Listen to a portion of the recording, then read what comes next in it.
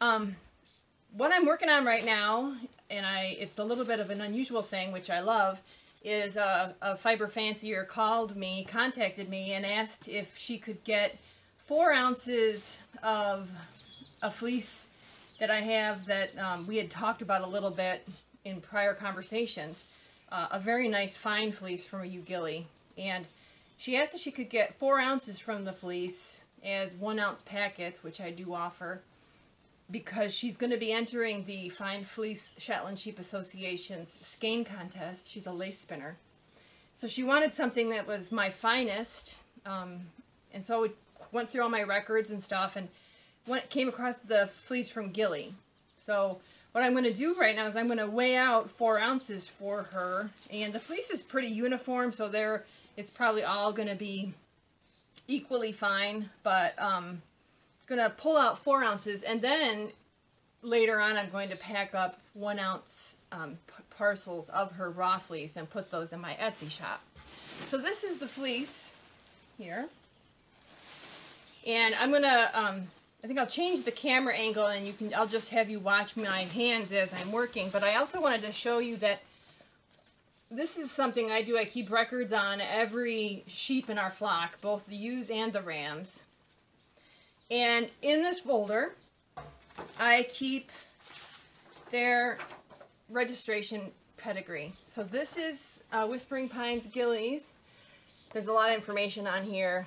There's her ear tag, her sire, her dam, who the uh, owners are of both the sire and the dam, the color she's registered as, the marking that she's registered as, and then you see here five degrees of, um, five generations of her pedigree.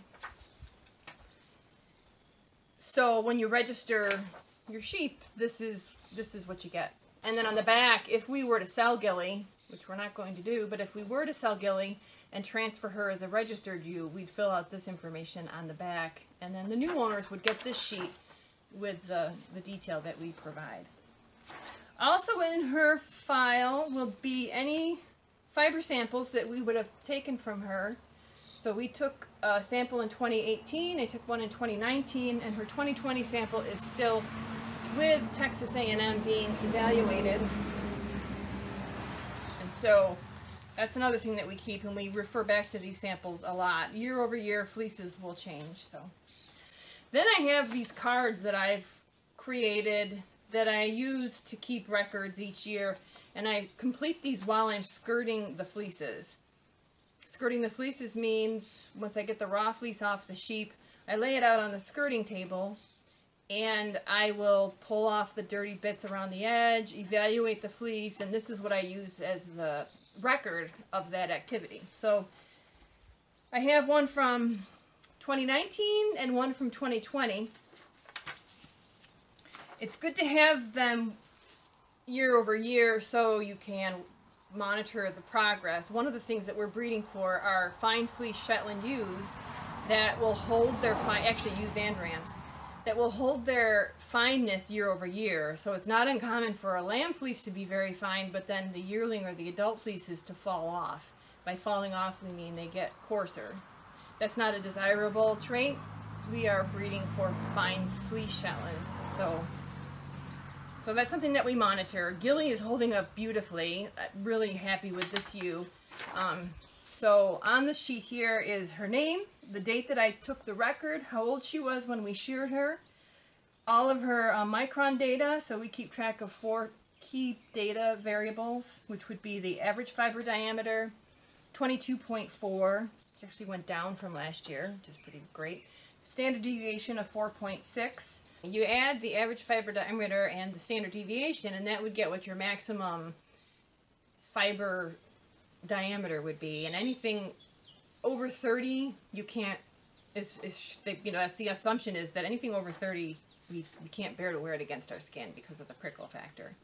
So she's definitely way underneath that threshold. Um, then the staple length, and then I just check off to make sure that I've taken a photo. Then I take her weight prior to skirting, because I want to know what the full weight of the fleece is. And then I take a weight after skirting, and what that does is that gives me a sense of what my output is for that fleece. Now, a lot of the skirtings I'm sending to the mill now because what I've discovered is my skirtings are so nice and still very fine and good crimp that even though they're not as good as the main part of the fleece that's under the coat, they're still very usable. So those sections are getting sent to the mill now as either comb top, roving, or yarn. And then after I do that evaluation, I look at it and I say, you know, is this something that I'm proud to sell to a hand spinner? Would this bring a hand spinner joy, particularly a hand spinner that is maybe more discriminating, that has done a lot of Shetland and is now ready for a fine Shetland? Um, so make that decision to sell or to process myself or maybe with my older ewes to send along with the skirtings to the mill because once they're nine, ten years old, even though they might have been spectacular like Gilly at a younger age, there is going to be a, a, increase in the fiber diameter to make it so that it's not as next to skin soft. All right, so anyways, I just wanted to share that with you. Every ewe that we had on the farm has a file like this. If we move her and transfer her to another farm, I just put her file in that year she was transferred with all of her records. I keep all the fiber samples. Um, it's just really good information when you're trying to review pedigrees or whatnot. All right. So what I'm going to do now is I'm going to um, move move the angle of the camera so you can sort of see my process for splitting up a fleece into the one ounce Alright, so here is Gilly's fleece in the bag. And one thing, too, that we do, just so we can keep track, because I just learned about a thing called breed-specific yarns, which obviously that's what we offer. We only offer soft Shetland wool, but I also offer ewe-specific yarns. So I keep the card from the ewe after I shear her and keep it separate. Um, I put the ear tag and the year because there are times when I have not managed to get to a fleece in that, that year, so I'll know that it was uh, last year clip versus this year. And that goes in every single fleece bag that we have, so we know who they are, either because we know them from their markings or we've got their ear tag number. Alright, so I'm going to just dump the fleece out here. I'm not very particular with how I fold them and roll them up and stuff. I know there is a method for that. I just don't. At this point in time, I'm sure there'll be a time when I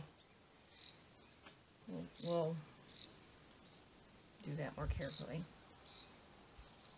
Oh, it's just so nice. It's so bouncy and beautiful. So I did tell you already the AFD. Um, I'll make a note of it and write it up on the screen here.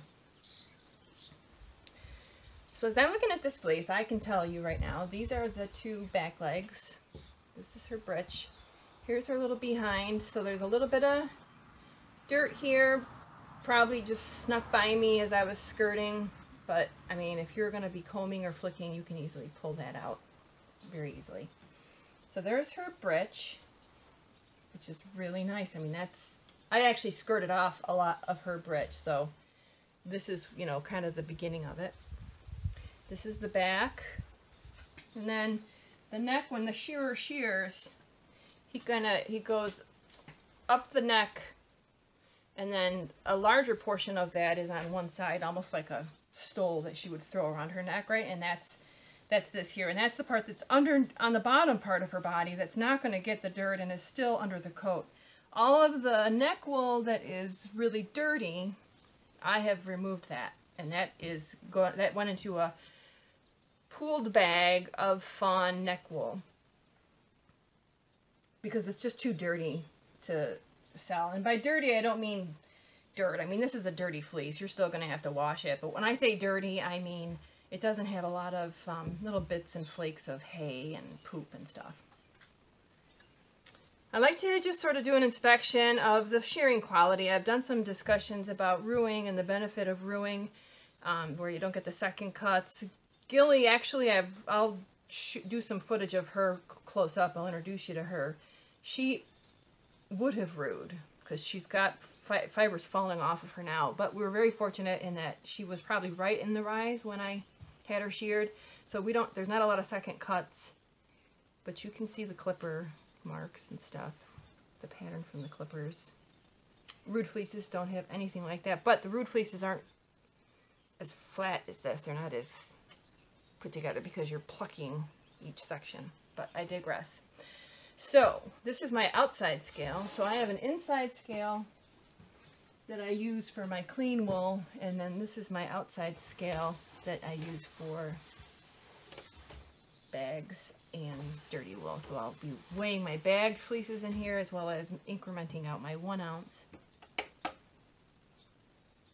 So the rest of this is pretty straightforward, but the only thing I will, maybe it isn't, yeah, I will say is that I am always very careful to ensure that I'm maintaining the lock structure when I'm pulling the one ounce locks out. And I'm also, I also have an eye for what might be one ounce. So, but what I'm going to do real quickly here is just take a quick break and just show you.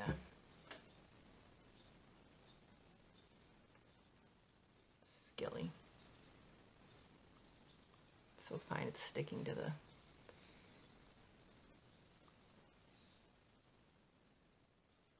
It's really pretty.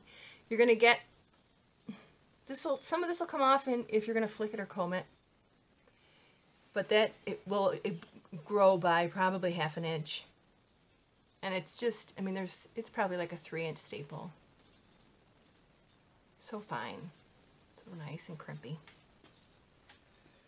Alright, so I'm going to measure out one inch. Now as I'm looking at this, I'm seeing some bits here that um, they don't bother me one bit. They'll wash out fine. But I'm not going to include those in my locks. I'll keep those for me to process.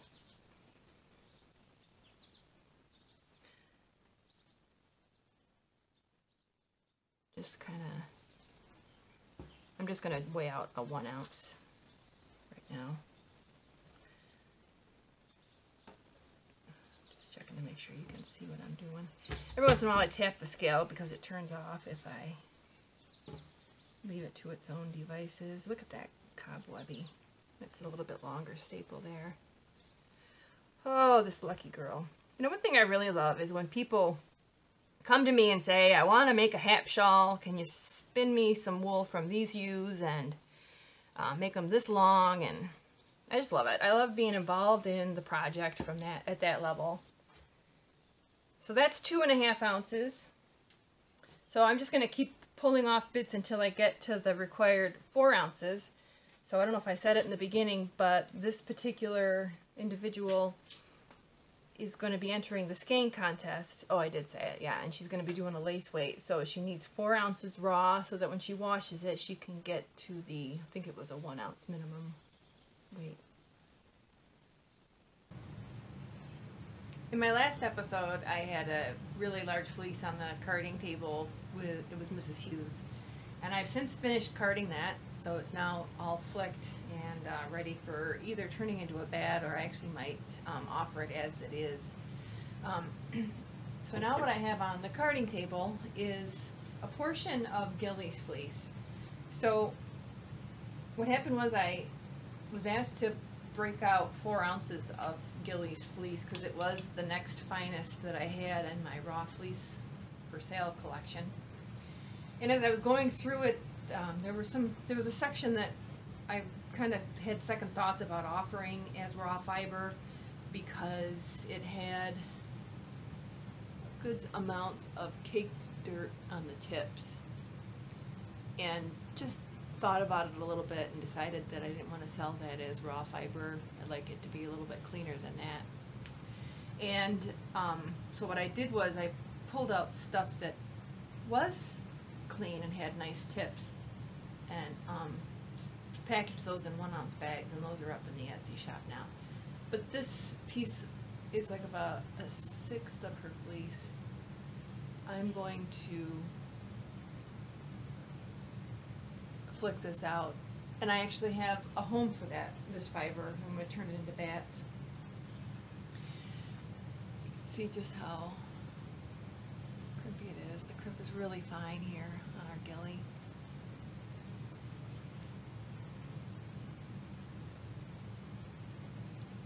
It's just kind of cobwebby gossamer style. So Here's a pretty good example of a lock from her fleece. And I'm gonna just, it's a, okay, let's just say it's two and a half inches with the tips. Uncarded but washed. I'm also gonna observe from just feeling it that there's a lovely density to this, this fleece, which is nice to have. I mean, that's an ideal. It's one of the parts of the standard is denseness. For a couple reasons. It's keep, it protects the animal. If their fleece is open, the elements can get at them and they're not gonna get the insulating properties. But from a fiber farmer point of view, the more fiber I can get per inch, the better as a um, output from the feed and the care that we put into the ewe. It's just a way of thinking about it. All right, so I have carded it and it is now, I would say it's four inches unstretched. Just kind of get it so it's not in that triangle shape. It's almost four inches unstretched and then as I expand it, I'm getting another quarter of an inch to a half of an inch and it just feels so silky and lovely. So like I said, this is from Gilly. Now Gilly is a fawn katmoget, which means that she's got the dark perimeter wool, and she's predominantly the lighter fawn color. It looks white here, but when you spin it up, it's going to be very creamy with little flecks of brown, like a just a beautiful heathery oatmeal. Um, but I did um, pull from this small selection of her fleece a more some of the brown from around her, um, probably down the side. It also possibly could be on the bottom part of her neck. I don't remember where I pulled it from. So, um, yeah, I just wanted to kind of show you this, what I'm working on, and, and um, just, it's the, actually the, the finest micron of the raw fleeces that I had left and that was why it was selected for the four ounce client because she's join, entering the um, Fine Fleece Shetland Sheep Association skein contest and she wants lace weight. So she needed the finest that I could offer. So. Oh I just love this wool.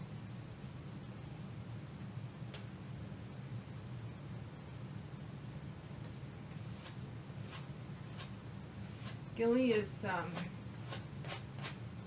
four. 2016.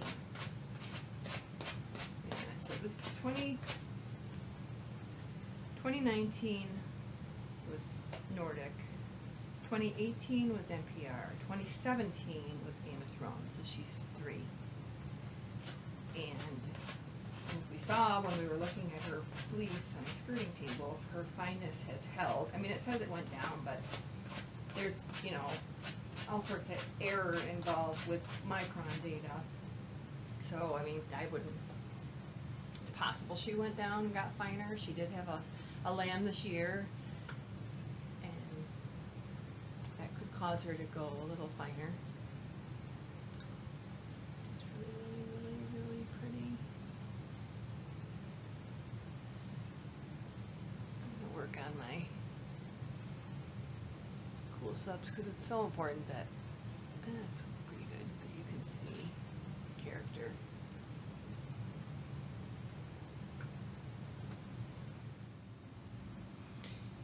That's thing I forgot to talk about was, um, you know, after you flick it, the dirt just sort of goes away. So that's that's the side that had the dirt And here is some of the dirty tips. Which wouldn't bother me, but it's okay. I have plenty of fleeces that don't exhibit this. So I, I don't mind taking it and pulling it. I'm glad I actually reviewed it and pulled it before. Um, but yeah, so after flicking it, nice and clean, and you know even if there is you know residual dirt on the tips there. Once you knit it and wash the yarn, that'll come out too. So.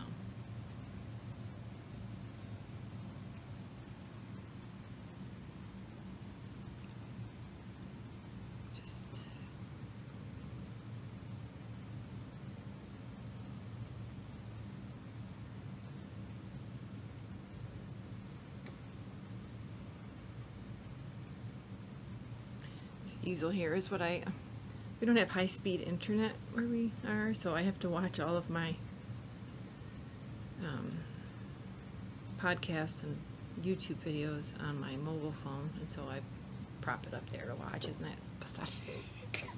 oh my gosh. Oh well, that's country living. This is Gilly. Um, so she, as I said, on the carding table is a fawn katmoget. So she's got those pretty badger eyes and darker wool around the belly, down the neck, which ends up being the perimeter of the fleece. So she's um, not really excited about this quick demo, but she's out of uh, Treviso, who was her mother, and Treviso was a really fine fawn katmoget with a really nice temperament. And her sire is uh, Nitro, and he was moorit with spots. One of the things about Gilly um, that I wish this year at a root her, I think you can sort of see that she has the the rooing trait here, and um, I think I, I would have been able to get, you know, I did the measurement of her fleece on the carding table. I probably would have been able to get another, a good quarter of an inch from her. She is uh, 2017 ewe. And um, that was the year I used the naming convention of Game of Thrones, and I don't really like base their names on any type of characteristics they exhibit when they're that young as lambs, but she's sort of grown into the name because as a first-time mother, she's doing a really great job, and her lamb is right there. Actually, is one of my favorite ones. She's really friendly and is really good size and is doing really well. So so I'm really proud of the Gilly as a her performance as a mother and just her really gentle temperament. It's interesting to me that she's got one of our finer fleeces because I always go gravitate towards the gray and maybe the more flashy stuff and you know she's got a modest coloring and stuff but she's a great ewe and really happy to have her in our flock so I just wanted to uh, get a chance to meet her. you want to get back in there?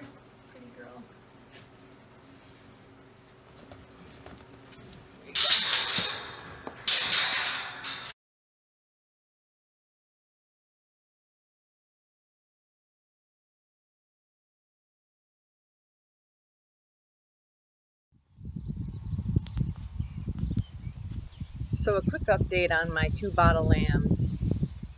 They're eating grass, as you can see, which is a big step in their development. And they come in every night with big full bellies. They are off of milk, and I'm every once in a while supplementing their water with electrolytes. They're doing really good.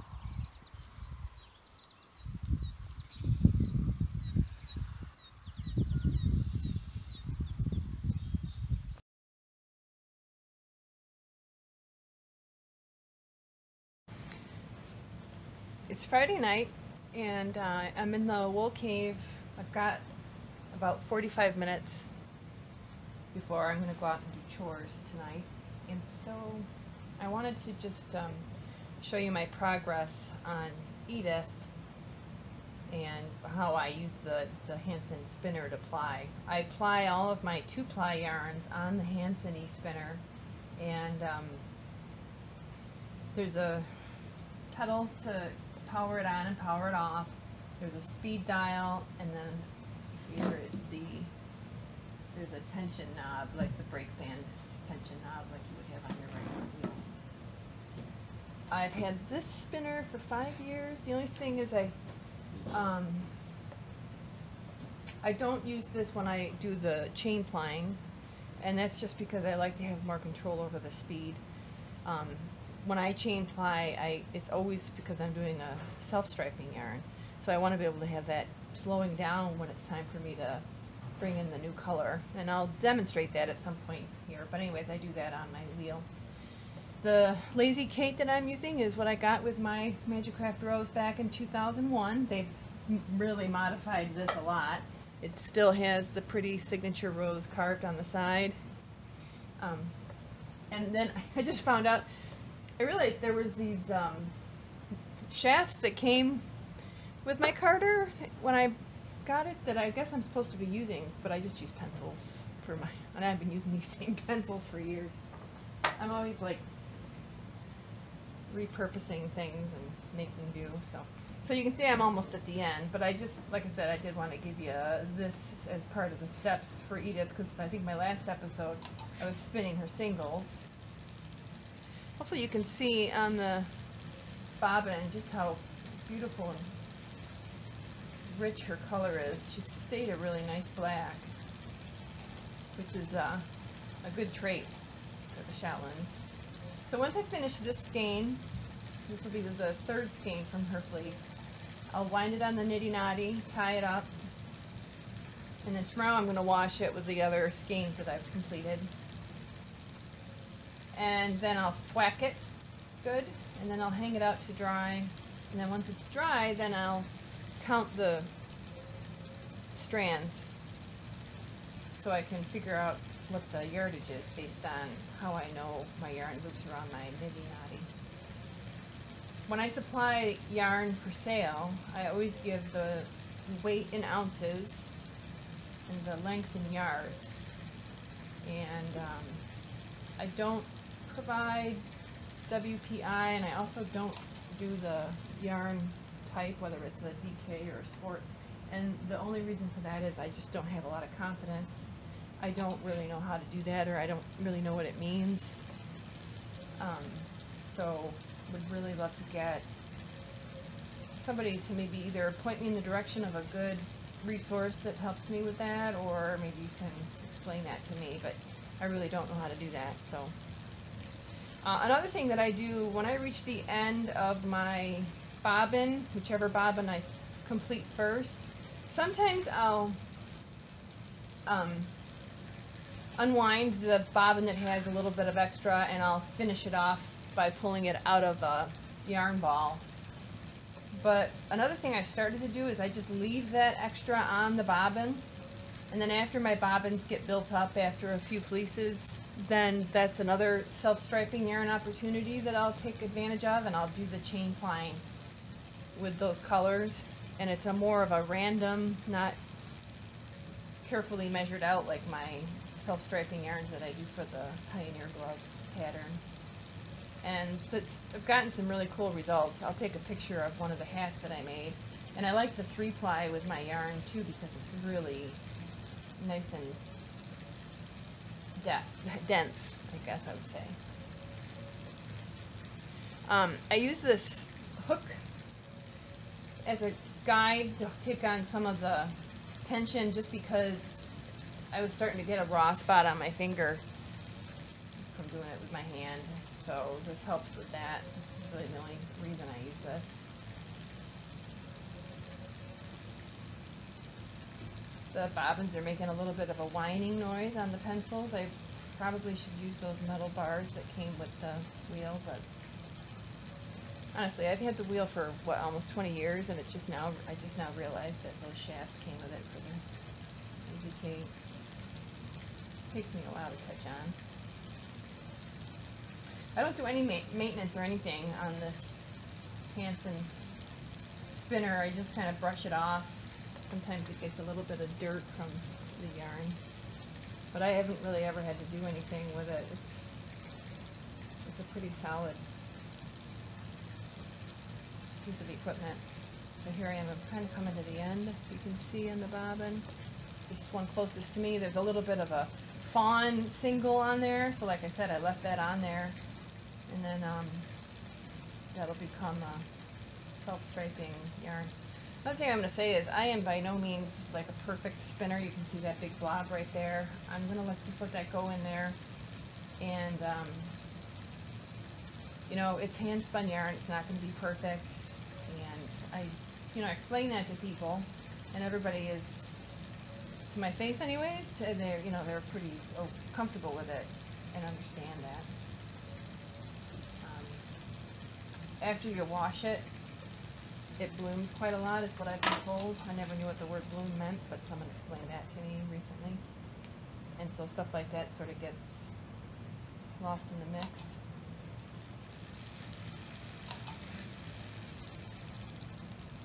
And so that's now ready to get put on the niddy noddy after I remove the brake band. Anytime I'm not going to be using the e-spinner, like if I'm in the midst of a project, I always unplug the power. I have this nightmare that like something like a mouse or something would walk on the pad and start the spinner at like 3 o'clock in the morning and just ruin all my hard work. But anyway, so that is, I don't know if that helps. That is my beautiful, beautiful rich black and very soft yarn from my Edith.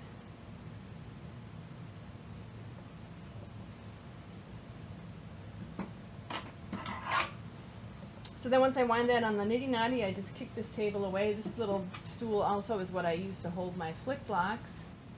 And I'll put the e-spinner away, put the lazy Kate away, and I'll bring out the wheel for my next fleece that I'm going to work on.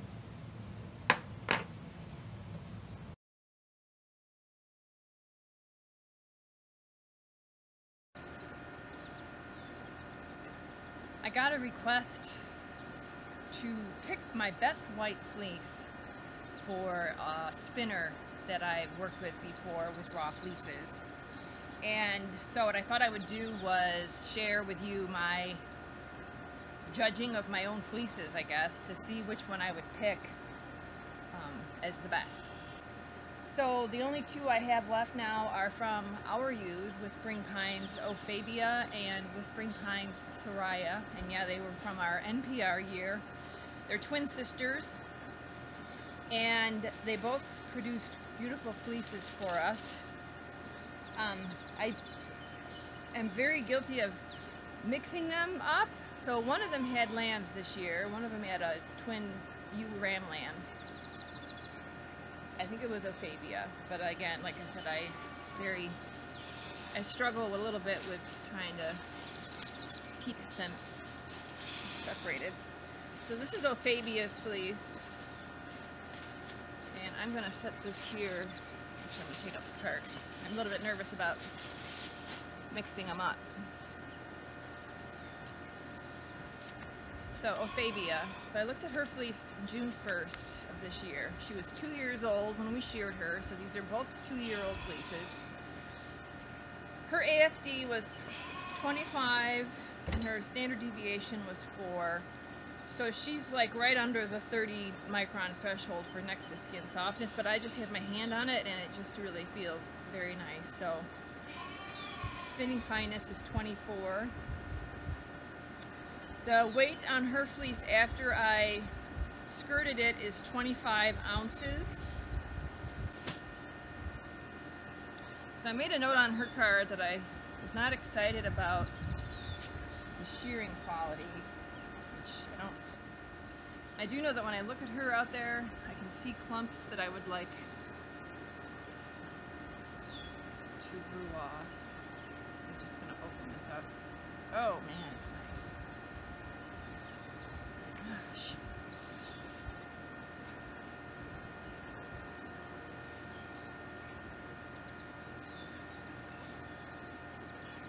I'm always very I don't know how to I don't know what the word is to use here. As a person that washes and processes and spins my own fleeces, when I'm skirting I'm always taking off the minimal amount because for me I want to have as much from that ewe as I can get.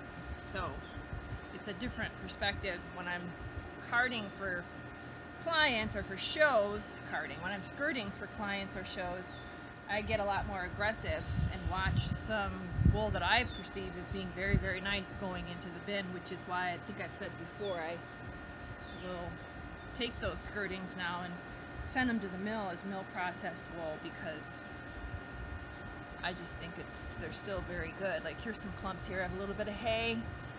But why wouldn't you want that? Beautiful wool. After you wash it and comb it or flick it or whatever your processing method is, it's going to be very nice. So, I mean, I'm looking at the top here. It's just beautiful. It's very consistent. I'm seeing, you know, really nice staple length. It feels really nice. The tips aren't matted or anything from the coat, which is, to me, I don't really mind, but if I were sending this out to somebody, that might be a factor that's important to them. Now what I'm going to do is look at the shearing quality, so I'm going to flip it over. And here's where I can see an issue that I would mark as a fault on this fleece, and that is, these are called second cuts, and um, actually what this is, is the uh, result of shearing her after she has hit the rise. So there's a point in the fleece that the there's a weak spot and so you're going to have these little bits that are going to become waste because my assumption is you're going to either flick or comb this fleece so that's one little mark against it. And like I said, I did make a note here that I wasn't excited about the shearing quality and that I'll probably roo her next year. For me, it's, this fleece is excellent. And I, for me, that's not a big flaw because I flick everything. I mean, the staple length, just remarkable. Somewhat bolder crimp so it's a little departure from my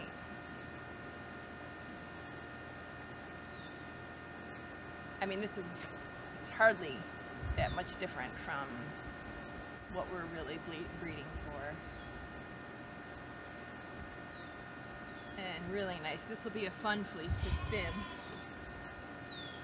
I already forgot who it was okay so that was Ofeibea I'm just going to set her aside. I would be overjoyed to get that fleece to be able to work on it, so I'm to put that back in her folder with all her other records and tuck that under. So the next one that I have available to sell is a raw fleece is Soraya. She's named after Soraya Sarhaddi Nelson. I've always loved the names of the NPR correspondents, particularly the females. Alright, so her AFD is slightly higher. Um, if I add her AFD and SD together, it's going to be, it's going to exceed the 30 micron threshold for next to skin softness based on the micron results we got this year, which is really unusual for our flock to the point where we're sort of questioning the results here because it just doesn't make sense to us. But we're going to go with it. Um, nice staple length, got an 80 millimeter staple length, and the weight is higher than uh, Ofeibea's. So I got a 33 ounce post-skirted weight on this one. And I made a note here that the, the skirting, the shearing quality was, was good. So I was happy with the shearing quality. And it is my bottle lamb in the barn. She thinks Anytime she hears my voice, she thinks it's time to eat.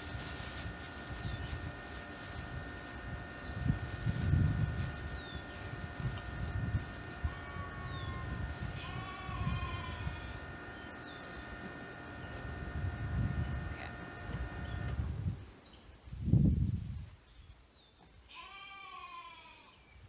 Seeing, I'm seeing some, I mean, I'm seeing some beautiful cobweb style crimp on this one. Oh, and it's really dense, which is going to explain the weight. So we bred both of them, and I, am almost positive Soraya was open, you know, Fabia. Uh, oh, I can already tell you that I'm going to pick this fleece. I like the density. I'll do a close-up video of them comparing them I've talked about density before. Density is good for so many reasons. Number one, um, the effort you're going to put into flicking a lock, you're going to get more wool. Number two, it's better for the ewe because she's going to be better insulated against both hot and cold.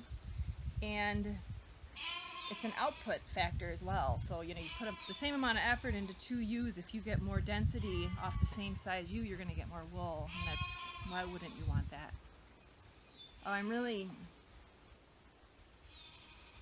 enchanted with this fleece. And I graded the, oh boy, I graded the shearing quality. it's very good, and it is. I mean, she, she must have just been perfectly at the rise. Um, oh man, I want to keep this one for me. okay, I'm gonna pull out a lock. Oh baby, just so nice. So, having done this, I am going to, with very sincere confidence, out of two very beautiful fleeces, I'm going to recommend this um, Soraya's fleece for my, my friend that's looking for a beautiful white fleece. So Fabia is the one that had the lamb. Um, really pretty glistening lock structure.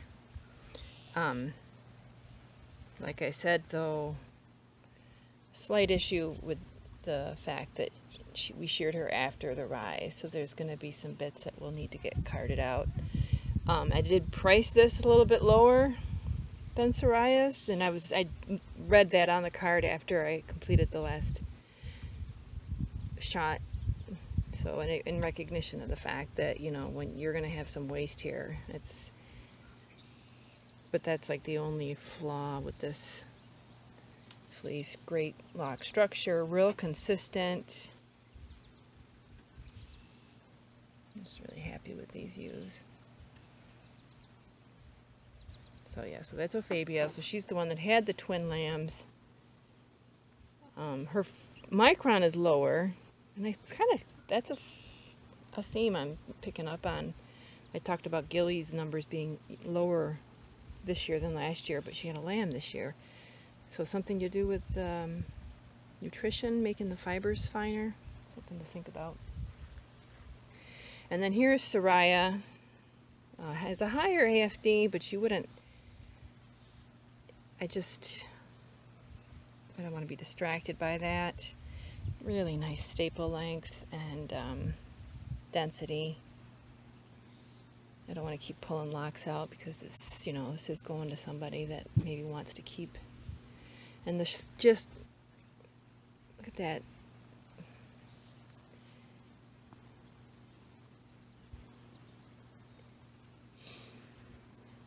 Really happy with this too. Just really, oh, you just feel the life in this fleece. It's alive. Oh my god, I just want to roll up in it.